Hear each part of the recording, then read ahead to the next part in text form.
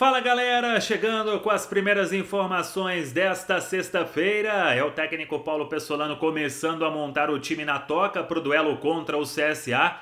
Pessolano está muito à vontade, não vai ter o Neto Moura volante nem o Wesley Gasolina, muito provavelmente, à disposição para este compromisso mas tem os jogadores que ficaram fora por suspensão: Rafael Cabral, Machado, Edu, Daniel Júnior. E vamos acompanhar o que, que ele vai fazer. No jogo contra o Novo Horizontino foi uma equipe bastante mudada e agora Pessolano então tendo aí o Cruzeiro para buscar esta vitória, como ele já disse, quer terminar a temporada com vitória, levantar a taça com vitória diante de um grande público no Mineirão. Por falar em grande público, a venda de ingressos segue nesta sexta e a expectativa é de que os ingressos se esgotem. A carga de 61.600 e com esses mais de 50 mil ingressos vendidos, o Cruzeiro já garante mais de 40 mil torcedores de média em jogos da Série B do Campeonato Brasileiro.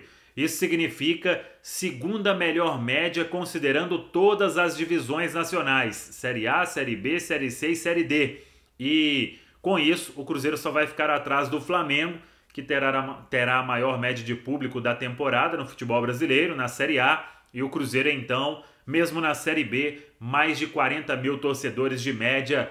Um ano espetacular do torcedor do Cruzeiro também nesta campanha de acesso à elite do futebol brasileiro. A arbitragem para domingo, já tinha falado sobre o Jean-Pierre Gonçalves Lima. No VAR estará Daniel Nobre Bins pela quarta vez nesta temporada sendo árbitro de vídeo em jogo do Cruzeiro.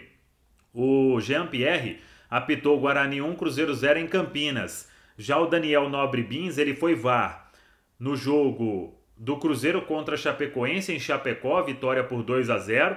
Foi VAR no jogo de ida da Copa do Brasil, oitavas de final, Fluminense 2, Cruzeiro 1. E ele foi VAR na vitória do Vila Nova sobre o Cruzeiro, jogo lá em Goiânia recentemente, então pela quarta vez Daniel Nobre Bins será árbitro de vídeo em jogo do Cruzeiro nesta temporada de 2022. Tá falado, pessoal? Um abraço, até a próxima. Vamos que vamos!